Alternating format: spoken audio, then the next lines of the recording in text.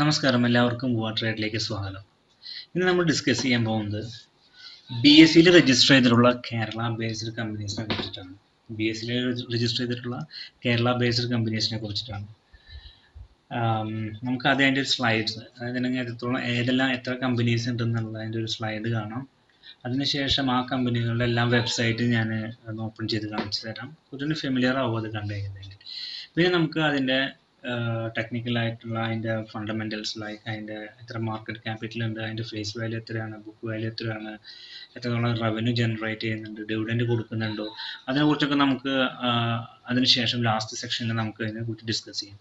First നമുക്കൊരു അതിന്റെ slide കാണാം. എത്ര കമ്പനീസ് ഉണ്ട് പിന്നെ അതിന്റെ ഡീറ്റെയിൽസ് നമുക്ക് ജസ്റ്റ് ഒന്ന് ഒന്ന് പെട്ടെന്ന് ഒന്ന് ഓടിച്ചു നോക്കാം. B S E listed Kerala companies first നിൽക്കുന്നത് ഞാൻ എടുത്തെടുക്കുന്നത് അതിന്റെ ഷെയർ വാല്യൂനെ കറന്റ് കറന്റ് ഷെയർ വാല്യൂ ഇന്നത്തെ അല്ല ഇന്നലത്തെ ഷെയർ വാല്യൂ ആണ്. ഇന്ന് മാർക്കറ്റിൽ ചെറിയ ഫ്ലക്ച്വേഷൻ പിന്നെ വന്നിട്ടുണ്ട്. ചിലപ്പോൾ കുറവും കൂടുതലൊക്കെ കാണാം. പക്ഷേ ഇന്ന് മെയ് ഫോർത്ത് ട്വന്റി ട്വന്റിയിലത്തെ നാല് മെയ് നാലാം തീയതിയിലത്തെ റേറ്റ് ആണ് ഞാൻ ഇതിൽ കൊടുത്തിട്ടുള്ളത്. അതിന്റെ ബേസിൽ നമുക്ക് അതിനെ കാറ്റഗറൈസ് ചെയ്തിട്ടുണ്ട് ഞാൻ അത് കൊടുത്തിട്ടുണ്ട്. ഫസ്റ്റ് കാണുന്നത് കെ എസ് സി ലിമിറ്റഡ് ആണ്. കെ എസ് സി ലിമിറ്റഡ് എന്ന് വെച്ചിട്ടുണ്ടെങ്കിൽ നമ്മളുടെ പെട്ടെന്ന് എല്ലാവർക്കും ഓർമ്മ വരുന്നത് തന്നെ കെ എസ് കാലിത്തീറ്റ പിന്നെ അവർക്ക് അത് കാലിത്തീറ്റ മാത്രമല്ല അതിന്റെതായിട്ടുള്ള കുറേ പ്രൊഡക്ട്സ് വരുന്നുണ്ട്. അവർക്ക് മിൽക്ക് പ്രൊഡക്ട്സ് വരുന്നുണ്ട് ഐസ്ക്രീം സെക്ഷൻ വരുന്നുണ്ട്. ഇവരുടെയാണ് ഏറ്റവും ടോപ്പ് പ്രൈസ് നിൽക്കുന്നത്. ആയിരത്തി ഇരുന്നൂറ്റി അഞ്ചാണ് അതിന്റെ രൂപ ഒരു ഷെയറിന്റെ പിന്നെ സെക്കൻഡ് വരുന്നത് മുത്തൂത്ത് ഫിനാൻസ് ഗ്രൂപ്പാണ് മുത്തൂത്ത് ഫിനാൻസ് ലിമിറ്റഡ് പറയുന്നത് മുത്തൂത്തിന് രണ്ട് ഗ്രൂപ്പുണ്ട് ജോർജ് ഗ്രൂപ്പും ഉണ്ട് പാ- പാപ്പച്ചൻ ഗ്രൂപ്പും ഉണ്ട്. അപ്പോൾ മുത്തൂത്ത് ഫിനാൻസ് എന്നുള്ളത് ജോർജ് ഗ്രൂപ്പിന്റെയാണ് അതാണ് കുറച്ചുകൂടി ടോപ്പായിട്ട് ഇന്ത്യയിൽ നിൽക്കുന്നത്.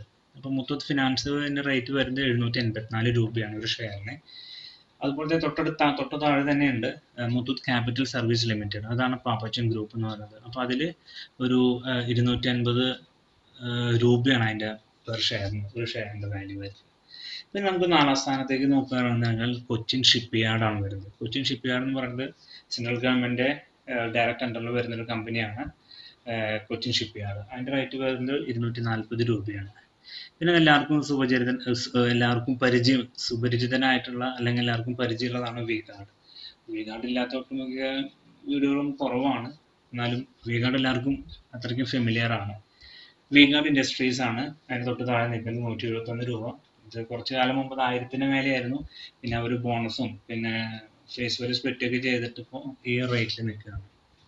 അഞ്ച് രൂപ അഞ്ചാം സ്ഥാനം നിൽക്കുന്ന നമുക്ക് പറയാം. വീഗാർഡ് ഇൻഡസ്ട്രീസ് ആണ് നൂറ്റി എഴുപത്തൊന്ന് രൂപയാണ് കറന്റ് മാർക്കറ്റ് പ്രൈസ് പിന്നെ അടുത്തത് വീഗാർഡിന്റെ തന്നെ തന്നെ വേറൊരു ഡിവിഷനാണ് അതിന്റെ എന്താ പറയാ ഹോളിഡേ ഡിവിഷൻ അതായത് നമ്മളെ പെട്ടെന്ന് പറയുന്ന അതിന്റെ ഗ്രൂപ്പിന്റെ പേരാണ് വണ്ടർല ഹോളിഡേസ് ലിമിറ്റഡ് അതിലെന്ന് പറഞ്ഞാൽ നമ്മളുടെ വീഗാലാൻഡ് ഇപ്പോൾ ഒരു മൂന്ന് പല സംസ്ഥാനങ്ങളിലുണ്ട്. എവിടെയൊക്കെ നമ്മളുടെ ബാംഗ്ലൂരുണ്ട്. പിന്നെ വേറെ എവിടെയോ സ്ഥലങ്ങളിലും കൂടി ഉണ്ട്. അപ്പോൾ വണ്ടർലയാണ് ആറാം സ്ഥാനത്ത് നിൽക്കുന്നത് നൂറ്റി ഇരുപത്തിയേഴ് രൂപയാണ് ഒരു ഷെയറിന്റെ വില.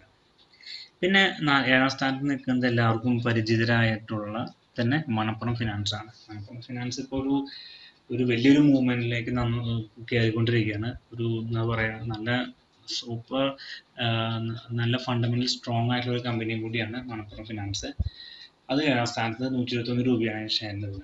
പിന്നെ എല്ലാവർക്കും അറിയപ്പെടുന്ന C S B Catholic Syrian bank ആണ്. ഇപ്പോൾ റീസെന്റ്ലി മാർക്കറ്റിൽ ലിസ്റ്റ് ചെയ്തിട്ടേ ഉള്ളൂ.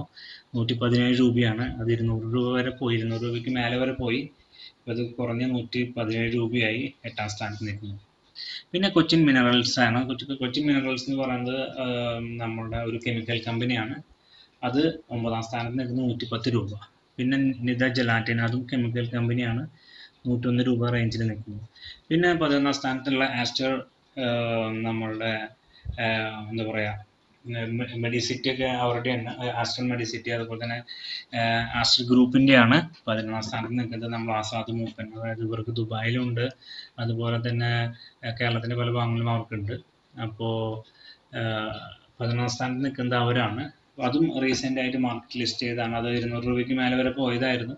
ഇപ്പോൾ തൊണ്ണൂറ്റെട്ട് രൂപയിലാണ് അത് നിൽക്കുന്നത് പതിനൊന്നാം സ്ഥാനത്ത്. പിന്നെ അടുത്ത് നമുക്ക് പറയാം അപ്പോളോ ടയേഴ്സ് ആണ്. അപ്പോളോ ടയേഴ്സ് എല്ലാവർക്കും അറിയുന്ന പോലെ തന്നെ ടയർ കമ്പനിയാണ് അതിന്റെ തൊണ്ണൂറ്റാറ് രൂപ ഇപ്പോൾ ഉള്ളത്. അതിന്റെ ഫേസ് വാല്യൂ സ്പെക്ട് ചെയ്ത് ബോണസ് കൊടുത്തിട്ടാണ് അത്രയും റേറ്റിലേക്ക് വന്നത്. അതും ഒരു വലിയ റേറ്റിലായിരുന്നു റേഞ്ചിലായിരുന്നു അത് തിരിച്ച് ഇത്ര റേഞ്ചിലേക്ക് വന്നു. അത് അതിന്റെ ഫേസ് വാല്യൂ ബോണസ് കൊടുത്ത് സ്പ്ലിറ്റ് ചെയ്ത് വന്നതാണ്. അത് പന്ത്രണ്ടാം സ്ഥാനത്ത് നിൽക്കുന്നു അടുത്തത് എന്ന് പറയുന്നത് കിറ്റസ് ഗാർമെന്റ്സ് ആണ്. കിറ്റസ് ഗാർമെന്റ്സ് അത് ടെക്സ്റ്റൈൽ സെക്ഷൻ വരുന്നതാണ്. ഗാർമെന്റ് സെക്ഷൻ വരുന്നതാണ്. അത് ഇപ്പോൾ മാർക്കറ്റിലെ റേറ്റ് തൊണ്ണൂറ്റിനാല് രൂപയാണ്. കഴിഞ്ഞ കുറച്ച് വർഷങ്ങൾക്ക് മുമ്പ് ഇത് ഒരു ആയിരം റേഞ്ചിന്റെ മേലേക്ക് കടന്നു പോയതായിരുന്നു. ഒരു പെട്ടെന്നൊരു ബൂമൊക്കെ സംഭവിച്ചതായിരുന്നു അതിലെ. കുറെ ഓർഗനൈസേഷൻ റീസ്ട്രക്ചർ ഒക്കെ വരുത്തിയപ്പോൾ ഉണ്ടായ മാറ്റമായിരുന്നു അത്. അതിനുശേഷം അവർ ബോണസ് കൊടുത്തു സ്പ്ലിറ്റ് കൊടുത്തു അതുകൊണ്ടാണ് ഈ ഒരു റേഞ്ചിൽ നിൽക്കുന്നത് തൊണ്ണൂറ്റിനാല് റേഞ്ചിൽ നിൽക്കുന്നത് അതൊരു നല്ലൊരു കമ്പനിയാണ് കിറ്റസ് ഗാർമെന്റ്സ് പിന്നെ Victory paper paper and boards അത് പേപ്പർ കമ്പനിയാണ് എഴുപത്തിനാല് രൂപയാണ് നിൽക്കുന്നത്. പിന്നെ ഹാരിസൺ മലയാളം. ഹാരിസൺ മലയാളം പിന്നെ എല്ലാവർക്കും അറിയുന്ന പോലെ തന്നെ കൂടുതൽ കുറേ കേസുകളും കാര്യങ്ങളൊക്കെ അവരുടെ ഒപ്പം ഉണ്ടായിരുന്നു. എങ്കിൽ കൂടി അതും ഇപ്പോഴും അവർ അതിന്റെതായിട്ടുള്ള ഒരു കൺസിസ്റ്റൻസിയിൽ പോകുന്നു. അവർക്ക് പ്ലാന്റേഷൻ ടീ പ്ലാന്റേഷൻ ഉണ്ട്. പിന്നെ പൈനാപ്പിൾ പ്ലാന്റേഷൻ ഉണ്ട്. അതുപോലെ തന്നെ റബ്ബർ അവരും ഡൈവേഴ്സിഫൈഡ് ആണ് പല മേഖലകളിലും അവരും ഇന്ത്യയിലെ കേരളത്തിലെ സൗത്ത് ഇന്ത്യയിലെ തന്നെ സെക്കൻഡ് ലാർജസ്റ്റ് ടീ പ്ലാന്റേഷൻ ഉള്ള കമ്പനിയാണ് ഹാരിസൺ മലയാളം. അതിനും അമ്പത്തെട്ട് രൂപയാണ് അതിന്റെ റേറ്റ് വരുന്നത്.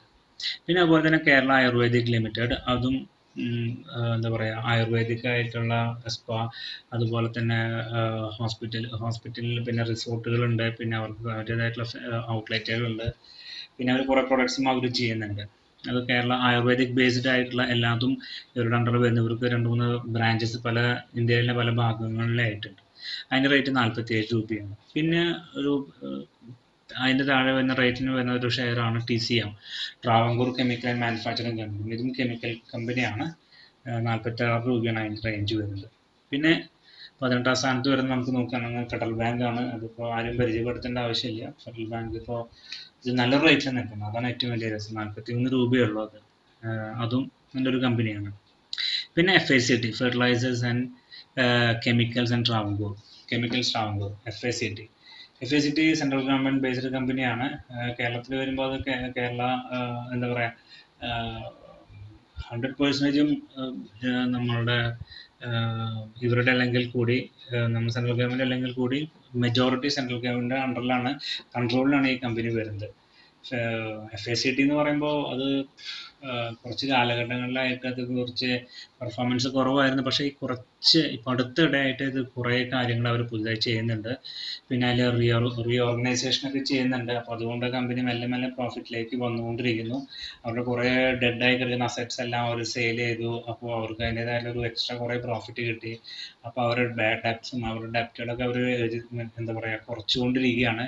ബുക്ക് വാല്യൂ ഇപ്പോൾ നെഗറ്റീവ് ആണ്. എങ്കിൽ കൂടി അത് അവർ സെൻട്രൽ ഗവൺമെന്റ് സപ്പോർട്ടോട് കൂടി അത് മെല്ലെ മെല്ലെ റിക്കവർ ചെയ്ത് വരുന്നത് അതുകൊണ്ടാണ് ഇരുപത് രൂപ റേഞ്ചിലേക്ക് ആയിരുന്നു ഇപ്പോൾ നാൽപ്പത്തൊന്ന് രൂപ റേഞ്ചിലേക്ക് എത്തിക്കൊണ്ടിരിക്കുകയാണ്. ലൈഫ് ടൈം ഹൈയിലേക്കൊക്കെ പോയിക്കൊണ്ടിരിക്കുകയാണ് എഫ് എ സി ടി പിന്നെ A V T natural products ഇതും ഈ പറഞ്ഞ പോലെ ഡൈവേഴ്സിഫൈഡ് ആണ്. പ്ലാന്റേഷൻ മാത്രമല്ല അവർക്കും കുറേ പ്രൊഡക്ട്സ് വരുന്നുണ്ട്. ഈ അതുപോലെ സ്പൈസസ് വരുന്നുണ്ട്. ടീ പ്ലാന്റേഷൻ വരുന്നുണ്ട്. A V T A V ടിയും ഒരുവിധം മലയാളികൾക്ക് ഫെമിലിയർ ആണ്. പിന്നെ റബ്ഫില ഇന്റർനാഷണൽ റബ്ബർ കമ്പനിയാണ്. റബ്ബറിനോട് റിലേറ്റഡ് ആയിട്ടുള്ള എല്ലാ ട്രേഡിങ്ങും ട്രാൻസാക്ഷനും ഒക്കെ ഈ കമ്പനിയോട് നമുക്ക് ചെയ്യാവുന്നതാണ്. പിന്നെ അടുത്ത് ജിയോജിത് ഫിനാൻഷ്യൽ സർവീസസ് ഷെയർ മാർക്കറ്റിൽ ലിങ്ക് ചെയ്തിട്ടുള്ള ഏതൊരാൾക്കും ജിയോജിത്തിനെ കുറിച്ച് അറിയാം എസ്പെഷ്യലി മലയാളീസ് എന്താ വെച്ചിട്ടുണ്ടെങ്കിൽ കേരളത്തിലെ കേരള ബേസ്ഡ് ആയിട്ടുള്ള നമ്പർ വൺ ഒരു ബ്രോക്കിംഗ് ഫേമാണ് ജിയോജിത്ത് കുറേ വർഷങ്ങളായിട്ട് എല്ലാവരും യൂസ് ചെയ്യുന്ന അല്ലെങ്കിൽ എല്ലാവർക്കും ഫെമിലിയർ ആയിട്ടുള്ള ഒരു ബ്രോക്കിംഗ് ഫേമാണ് ജിയോജിത്ത് എന്ന് പറയുന്നത്. നല്ല നല്ലൊരു കമ്പനിയാണ് നല്ല റിട്ടേൺ കൊടുക്കുന്നു നല്ല ഡിവിഡൻഡ് കൊടുക്കുന്നു. അതൊക്കെയുണ്ട്. ഇരുപത്തൊന്ന് രൂപയേ ഉള്ളൂ ഇപ്പോൾ റേറ്റ് മാർക്കറ്റിൽ അത് ഇരുന്നൂറ് രൂപ റേഞ്ച് ആയിരുന്നു അത് സ്പ്ലിറ്റ് ചെയ്ത് ഫേസ് വാല്യൂ സ്പ്ലിറ്റ് ചെയ്ത് കുറഞ്ഞു വന്നതാണ്. പിന്നെ east eastern trans limited eastern trans limited എന്ന് പറയുന്നത് നമ്മളെ ഈസ്റ്റേൺ ഗ്രൂപ്പിന്റെ തന്നെ ഒരു മത ഒരു ടോപ്പ് കമ്പനിയാണ് ഈസ്റ്റേൺ ട്രാൻസിന്റെ അടിയിലാണ് ബാക്കി എല്ലാ ഗ്രൂപ്പുകളും വരുന്നത്. അവിടെ സ്പൈസസ് ആണെങ്കിലും അവർ എന്തും വരുന്നതും അതിന്റെ ഒരു ഇതിന്റെ അടിയിലാണ് എല്ലാ ഇതും വരുന്നത്. അപ്പോൾ ഈസ്റ്റേൺ ഗ്രൂപ്പാണ് ഈസ്റ്റേൺ ഈസ്റ്റേൺ ട്രാൻസ് ലിമിറ്റഡിൽ പറയുന്നത്. പിന്നെ നമ്മളുടെ വരുന്നത് ധനലക്ഷ്മി ബാങ്ക് ആണ്. ധനലക്ഷ്മി ബാങ്കിന്റെ ഒക്കെ അവസ്ഥ എന്ന് പറയാൻ വെച്ചിട്ടുണ്ടെങ്കിൽ ഇപ്പോൾ എല്ലാ ബാങ്കുകളും പ്രത്യേകിച്ചിട്ട് ഇതും പ്രൈവറ്റ് ബാങ്കാണ് പക്ഷേ ആർ ബി അണ്ടറിലുള്ളത് കൊണ്ട് പിന്നെ നമുക്ക് അങ്ങനത്തെ ടെൻഷൻസും കാര്യങ്ങളൊന്നും ഇല്ല. എങ്കിൽ കൂടി ധനലക്ഷ്മി ബാങ്ക് മെല്ലെ മെല്ലെ പുതിയ പുതിയ എന്താ പറയുക ഓർഗനൈസേഷൻ സ്ട്രക്ചർ മാറ്റിക്കൊണ്ടിരിക്കുന്നു. പുതിയ പുതിയ പ്രോഗ്രാംസ് കൊണ്ടുവരുന്നു. അപ്പോൾ അവരെ മെല്ലെ മെല്ലെ റിക്കവർ ചെയ്ത് വരുന്നു. കുറച്ചും കൂടി സ്റ്റാൻഡർഡൈസ് ആയി വരുന്നു ആ കമ്പനി പക്ഷെ മാർക്കറ്റിൽ ഇപ്പോൾ ചീപ്പ് റേറ്റിലൊക്കെ എടുക്കണേ ഒമ്പത് രൂപ അൻപത് പൈസ. പിന്നെ ജി ടി എൻ ടെക്സ്റ്റൈൽസ് ആണ്. ടെക്സ്റ്റൈൽ റിലേറ്റഡ് ആയിട്ടുള്ള കമ്പനിയാണ് പിന്നെ അടുത്തത് സൗത്ത് ഇന്ത്യൻ ബാങ്കാണ് സൗത്ത് ഇന്ത്യൻ ബാങ്ക് എന്ന് വെച്ചിട്ടുണ്ടെങ്കിൽ എന്താ പറയുക ഡിസ്കൗണ്ട് പ്രൈസിലൊക്കെ എടുക്കുന്നത് ഇരുപത് ഇരുപത് രൂപയ്ക്ക് മേലെയാണ് അതിന്റെ ബുക്ക് വാല്യൂ തന്നെ എടുക്കുന്നത് പക്ഷേ അതിന്റെ മാർക്കറ്റിൽ നമുക്ക് അവൈലബിൾ ആയിട്ടുള്ളത് അഞ്ച് രൂപയ്ക്കാണ്. അഞ്ച് രൂപയ്ക്ക് ഇരുപത് പൈസ മുപ്പത് പൈസയൊക്കെ അവർ ഡിവിഡൻഡ് കൊടുക്കുന്നുണ്ട്. അപ്പോൾ ആ ഡിവിഡൻഡ് റേഷ്യോ ഒക്കെ വെരി ഹൈ ആണ് അതിന് നോക്കുകയാണെന്നുണ്ടെങ്കിൽ എന്താണെന്ന് വെച്ചിട്ടുണ്ടെങ്കിൽ അഞ്ച് രൂപയ്ക്ക് മുപ്പത് പൈസ ഡിവിഡൻഡ് കൊടുക്കുക എന്ന് പറയുമ്പോൾ ഒരു നല്ലൊരു റിട്ടേൺ കൂടിയാണ് അത് സൗത്ത് ഇന്ത്യൻ ബാങ്ക് പിന്നെ സെലാസ്പേസ് സെലാസ്പേസ് എന്ന് പറയുന്നത് അവർ ഒരു എന്താ പറയുക നമ്മളുടെ തന്നെ ഒരു പേപ്പർ കമ്പനിയാണ് ഇപ്പോൾ വേറൊരു ഗ്രൂപ്പാണ് അവർ ഏറ്റെടുത്തെടുക്കുന്നത്. അതും കുഴപ്പമില്ലാത്ത രീതിയിൽ പോകുന്നു. പിന്നെ എയ്സൽ ട്രാൻസ്മാറ്റിക് ലിമിറ്റഡ് ഇതും ഒരു ടെക്നോളജി ബേസ്ഡ് ആയിട്ടുള്ള കമ്പനിയാണ് കമ്പ്യൂട്ടർ നെറ്റ്വർക്കിംഗ് കാര്യങ്ങളൊക്കെ ആയിട്ടുള്ള കമ്പനിയാണ് പിന്നെ പാറ്റ്സ്പിൻ ലിമിറ്റഡ് അതും നമ്മളുടെ ഈ പറഞ്ഞ പോലെ ടെക്സ്റ്റൈലിനോട് അനുബന്ധിച്ചിട്ടുള്ള ഒരു കമ്പനിയാണ് അത് മൂന്ന് രൂപ തൊണ്ണൂറ് പൈസയാണ് ഏറ്റവും ലോവസ്റ്റ് പ്രൈസിൽ നിൽക്കുന്നത് വെർട്ടെക്സ് സെക്യൂരിറ്റീസ് ആണ്. ഇതും ബ്രോക്കിംഗ് കമ്പനിയാണ് നമ്മളുടെ കേരള ബേസ്ഡ് ആയിട്ടുള്ള ഒരു ബ്രോക്കിംഗ് ഫേമാണ് എല്ലാം ട്രേഡിംഗ് നടക്കുന്നത്. അതിൽ കമ്മോഡിറ്റി ആണെങ്കിൽ കൂടി അല്ലെങ്കിൽ commodity currency futures and options പിന്നെ സെക്യൂരിറ്റീസ് എല്ലാം നമുക്ക് ഇതിൽ ട്രേഡ് ചെയ്യാൻ പറ്റും. വെറ്റർ സെക്യൂരിറ്റീസ് ഇത് നമ്മളുടെ എറണാകുളം ബേസ്ഡ് കമ്പനിയാണ് അവരിപ്പോൾ തൊണ്ണൂറ്റഞ്ച് പൈസയേ ഉള്ളൂ. അത് മാർക്കറ്റിന്റെ ട്രെൻഡിനനുസരിച്ച് അവർ നീങ്ങിക്കൊണ്ടിരിക്കുന്നത് എന്താണെന്ന് അറിയില്ല. അപ്പോൾ വളരെ ചീപ്പ് റേറ്റിലേക്ക് എടുക്കണേ തൊണ്ണൂറ്റൊന്ന് പൈസ. നോക്കി നോക്കാം അതിന്റെ ഫണ്ടമെന്റൽ ഡീറ്റെയിൽസ് നമുക്ക് ഇനി അടുത്ത സെക്ഷൻസ് വരുമ്പോൾ നമുക്ക് നോക്കാം. അപ്പോൾ മുപ്പത് കമ്പനീസാണ് മെയിൻലി നമുക്ക് ഇവിടെ വരുന്നത്. കേരള ബേസ്ഡ് കമ്പനീസ് വരുന്നത്. ബി എസ് സിയിൽ ലിസ്റ്റ് ചെയ്തിട്ടുള്ളത് ബി എസ് സിയിൽ മാത്രമല്ല എൻ എസ് സിയിലും കുറച്ച് കമ്പനീസ് ലിസ്റ്റ് ചെയ്തിട്ടുണ്ട്. ബി എസ് സിയിൽ മാത്രമല്ല. പക്ഷേ ബി എസ് സിയിലാണ് മെജോറിറ്റി കമ്പനീസ് ലിസ്റ്റ് ചെയ്തിട്ടുള്ളത്. പിന്നെ ഇത് കൂടാണ്ട് കുറേ വേറെ കുറേ കമ്പനീസ് ഉണ്ട് ലിസ്റ്റ് ചെയ്യപ്പെടാത്ത കുറേ കമ്പനീസ് വരുന്നുണ്ട്. ഇപ്പോൾ കമ്പനീസ് പറഞ്ഞാൽ നമ്മളുടെ Cochin international airport Kannur international airport അതൊക്കെ ലിസ്റ്റ് ചെയ്യപ്പെടാത്ത കമ്പനീസ് ആണ്. അതുപോലെ തന്നെ ജോയ് ആലുക്കാസ് അതുപോലെ തന്നെ മലബാർ അതുപോലെ കല്യാൺ സിൽക്സ് ഇതെല്ലാം ഡയറക്റ്റ് ലിസ്റ്റ് ചെയ്തിട്ടില്ല മാർക്കറ്റിൽ പക്ഷേ അവരുടെ എല്ലാം ഷെയർസും കാര്യങ്ങളൊക്കെ ഉണ്ട്. അത് ചില സമയത്ത് നമുക്ക് പബ്ലിക്കിൽ നിന്ന് തന്നെ ചിലർ വിറ്റ് കൊടുക്കണ കാണാം. അതെല്ലാം ഔട്ട്സൈഡ് ഡീലാണ് ഇവൻസ് ചെയ്യാനുള്ള ഷെയർസ് ഒക്കെ ചില ചിലർക്ക് വരികാനൊക്കെ പറ്റും. പക്ഷെ അത് ഡയറക്റ്റ് ആയിട്ട് മാർക്കറ്റിൽ നിന്ന് കിട്ടില്ല. അതും ഇപ്പോഴും പേപ്പർ ഷെയർസ് തന്നെയാണ്. ഇപ്പോൾ നമ്മൾ പേപ്പറിലൂടെ നമ്മളെ ഷെയർസ് ക്യാഷ് കൊടുത്തതിന് ശേഷം നമ്മൾ നമ്മളെ പേരിലേക്ക് അത് കൺവേർട്ട് ചെയ്ത് മാറ്റുകയാണ് ചെയ്യുന്നത്. ഈ പറഞ്ഞ കമ്പനീസ് ഒക്കെ ഇൻ ഫ്യൂച്ചറിൽ വരാം. എന്ന് വെച്ചിട്ടുണ്ടെങ്കിൽ ലിസ്റ്റ് ചെയ്യാം. അങ്ങനെ ജോയ ആലുക്കാസ് ആണെങ്കിലും മലപ്പുറം കല്യാണാണെങ്കിലും അല്ലെങ്കിൽ തന്നെ ബാക്കിയുള്ള മലബാർ ഗോൾഡ് അല്ലെങ്കിൽ മലബാർ വാച്ച് പല ഡിവിഷൻസ് വരുന്നുണ്ട്. അതെല്ലാം ഇൻ ഫ്യൂച്ചറിൽ ലിസ്റ്റ് ചെയ്യാം. ഇത് കുറച്ച് കമ്പനീസ് ഒക്കെ ഓൾറെഡി റിക്വസ്റ്റ് കൊടുത്തിട്ടുണ്ട് എൻ എസ് സിക്ക് പക്ഷെ അതിനെ കുറിച്ചിട്ടൊന്നും ആയിട്ടില്ല. ഇതാണ് നോർമൽ നമ്മളുടെ മേജർ പ്ലാറ്റ്ഫോമായ ബി എസ് സിയിലും എൻ എസ് സിയിലൊക്കെ ലിസ്റ്റ് ചെയ്തിട്ടുള്ള കമ്പനീസ് എല്ലാതും എൻ എസ് സി ലിസ്റ്റ് ചെയ്തിട്ടില്ല. പക്ഷെ ബി എസ് സിയിലത്തെയാണ് ഇതെല്ലാം പറയുന്നത്. പക്ഷെ കുറച്ച് കമ്പനീസ് എൻ എസ് സിയിലും സെയിം ടൈം ലിസ്റ്റ് ചെയ്തിട്ടുള്ളതാണ്. ഇതാണ് ഇതിന്റെ ഒരു സ്ലൈഡ് എന്ന് പറയപ്പെടുന്നത്.